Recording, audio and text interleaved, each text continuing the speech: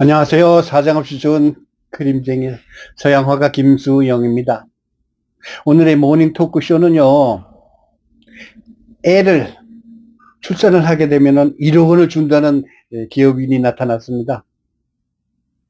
자, 여러분, 형제가 몇이세요?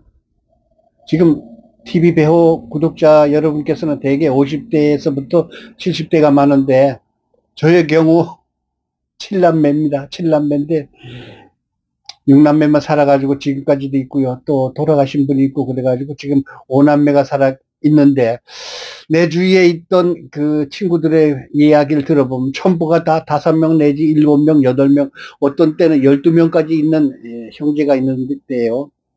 우리가 자랐을 때는 예, 참 대단했었죠. 모든 엄마들이 그냥 2년에 한 번씩, 3년에 한 번씩 애를 반드시 낳았기 때문에 6남매, 7남매는 보통이었지 않습니까? 그런데 작년에는 2023년도에 대한민국의 아이가 모두가 몇 명이 출산이 됐는가 하면은 23만 5,093명. 그러니까 그 부인 한 명당 0.7명의 출산을 해가지고 OECD 20개 국가 중에 가장 출산율이 적답니다. 세계에서 가장 적은 예, 출산율을 가지고 있는 게 대한민국입니다. 그래서 앞으로 먼 훗날 대한민국의 인구가 줄어들어서 나라가 사라질지도 모른다는 참 절박한 상황입니다. 그래서 요즘엔 뭐 각 지방마다 출산을 하게 되면 뭐 각종 그 뭐야 출산 용품을 준다든가 아니면 뭐 또 입학금을 준다든가 혜택이 많잖아요.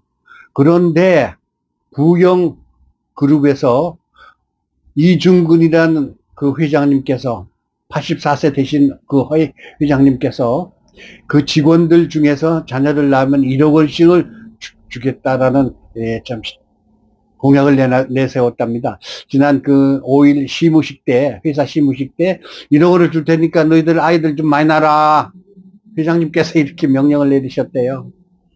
야 대단하지 않습니까? 1억 원, 1억 원. 저는요, 아직까지 큰 부자가 아닙니다. 1억 원 하면 굉장히 큰 돈으로 여겨지고요. 놀랍습니다. 에, 지금 현재, 글쎄요. 얼마 전에 대통령 나섰던 한 분이 출산을 하게 되면 1억 원씩 무조건 줍니다. 전 국민에게. 그랬던 사람이 있었습니다. 허경영 씨라고 있었죠. 근데 그게 아이고 야 뻥이다 뭐 무슨 애를 낳는데 1억 원을 주냐 그러는데 실제 그런 회사가 나타났어요. 부영그룹의 경우는 예, 작년에도 또 뉴스가 한번 난 적이 있었죠. 자기 고향 전라남도 어디라는데 자기 고향에 있는 그 어르신들한테 동네 사람들한테 전부 다 1억 원씩을 나눠줬답니다. 또 자기가 다녔던 초등학교, 중, 중학, 중고등학교 학생들 동창들에게 전부가 다 1억 원씩 나눠줬대요. 참네. 부자들로서 이렇게 혜택을 나눠주는 부자는 나 처음 봤습니다. 대한민국에 이런 뉴스가 나온 것도 처음 봤습니다. 모든 부자들이 자기의 그 부자 역할을 제대로 하는지 모르겠지만, 글쎄요, 가끔 가다 보면 이제 대기업에서 뭐 장마가 진다든가 아니면 큰 재해가 났을 경우에 몇 억 원씩 톡톡 내놓는 걸 보긴 했어요. 또, 또 대기업에서, 어, 운영하는 또, 뭐, 문화 지원 사업, 내지는 뭐, 다른 지원 사업도 많이 있는 걸로 내가 알고는 있지만, 예, 우리가 그 참, 마음에 와닿는 건 별로 없어요. 이렇게 그 부영 그룹처럼 실질적인 동네 사람들한테 자기 고향 사람들한테 1억 원을 나눠준다든가 아니면 동창들한테 1억 원을 나눠준다든가 출산을 하게 되면 1억을 나눠준다든가 얼마나 참 갸륵한 어르신입니까? 여기 지금 제가 사진도 올려놓겠지만 이 회사의 경우는 글쎄 직원이 얼마나 되는지 모르지만 글쎄 많지는 않겠죠. 젊은 직원들이 출산을 하는 경우도 많지는 않겠지만 어쨌든 예, 자기가 할 수 있는 부자로서 할 수 있는 베푸는 이 마음이 대단하지 않습니까? 또 우리들의 부자 중에 한 사람인 경우 500억을 가진 축구 선수 이야기가 요즘에 난리 부르스잖아요. 이 사람은 차범근 지금 뭐 유튜브에서 지금 난리가 났습니다. 왜냐 자기 이제 그 유소년 축구 선수단을 운영하면서 비리가 또 한두 가지가 아니랍니다. 또 참 부끄럽지만 조 누구 누구의 그 입시 비리를 감싸는 참 선처를 바른다는 법원에 탄원서를 내줬다는 거를 봐서는 약간의 좌익적인 그런 사성이 없잖아 있습니다. 왜냐하면은 일본의 그 조청년 학교에다가 기부를 하는 그걸 봐서도 좌익이라고 아니라고 할 수는 없잖아요.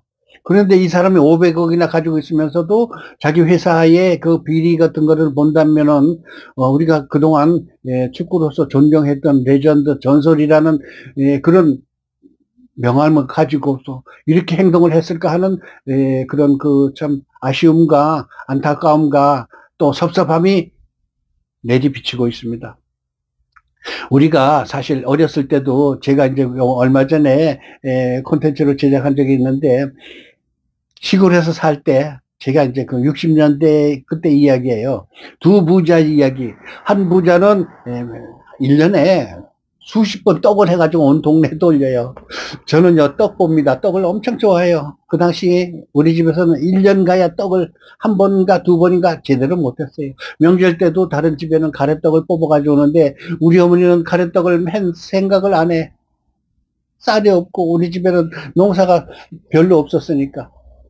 그런데 그 부자가 떡을 해가지고 집집마다 돌려주는 게 얼마나 고마웠던지 그런 부자가 있었는가 하면은 또 다른 부자 얘기했죠.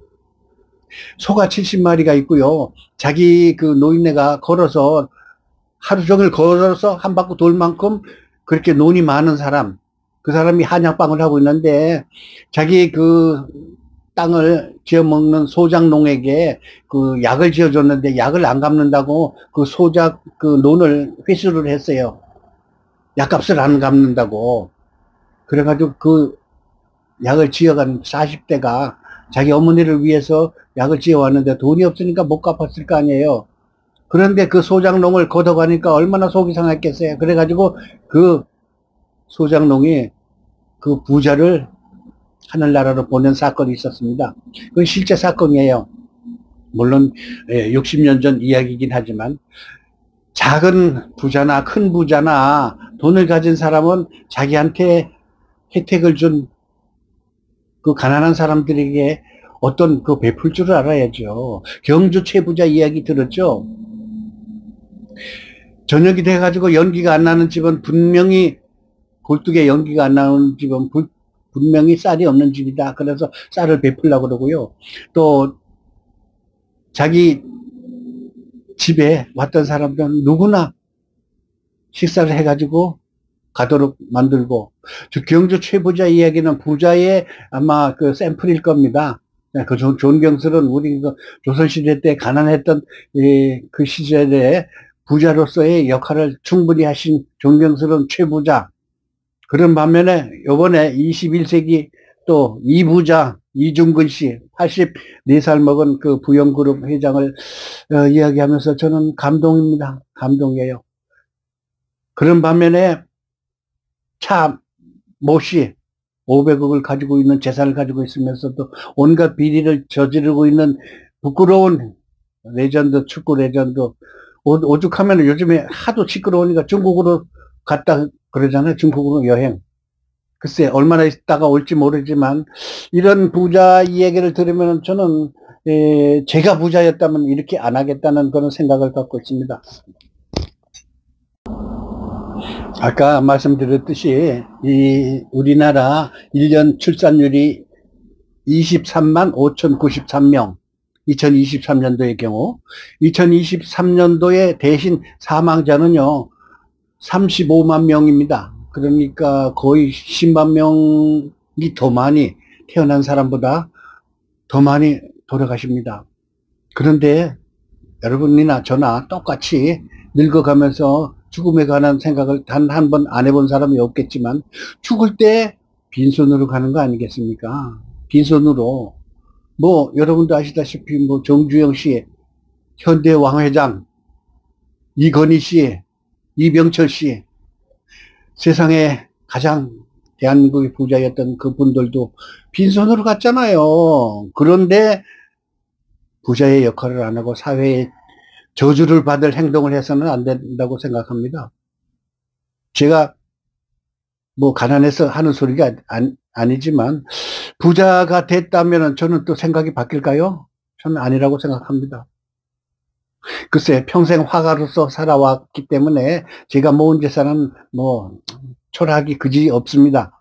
그랬다 해더라도 제가 로또가 가끔 된다면은 저는 뭐 뭐 뭐 뭐 할 거를 계획을 세워놨어요. 여러분 로또 되면 뭐할 건가 계획 세워놨나요? 월요일 날 택시기사한테 저 서대문에 그 농협중앙에 갑시다라는 인사를 하는 사람이 자기가 제일 부럽답니다. 택시기사들은. 왜냐? 서대문 로타리 있는데 농협중앙회가 있거든요. 1등은 거기서만 예, 돈을 지불해 준답니다. 2등서부터는 이 농협 지점에서도 그 돈을 나눠주는데 1등은 반드시 예, 서대문에 있는 농협중앙회에서 돈을 지급해 준다니까 아침에 택시 타고서 에, 서대문 로타리 농협중앙회 갑시다 라는 사람이 있으면 택시 기사들이 여러 번 쳐다봅니다. 본답니다. 행복한 사나이, 로또에 당첨된 사나이. 여러분 부자 되면 어떻게 하실 겁니까? 저요? 계획 세워놨어요. 하나님 계획대로 할 수 있게 로또 좀 당첨되게 빌어 봅니다. 이렇게 해서 오늘 부영 그룹에 1억을 출산해 준다는 이야기, 출산 한 사람은 1억을 준다는 얘기. 아까 또 얘기를 했나요? 저 허경영 씨가 대통령이 되면 무조건 1억을 준다는 그 참 공약을 내선 적이 있는데 이건 완전히 뻥이다. 뭐 이런 사람이 다 있어. 그러는데 실제 이런 또 현실로 나타난 사건이 나타났어요. 허경영 씨 또 이제 대통령 나설 겁니까? 참 이렇게 그 우리는 어느 날 황당무계한 일이 현실로 다가오는 경우도 있습니다.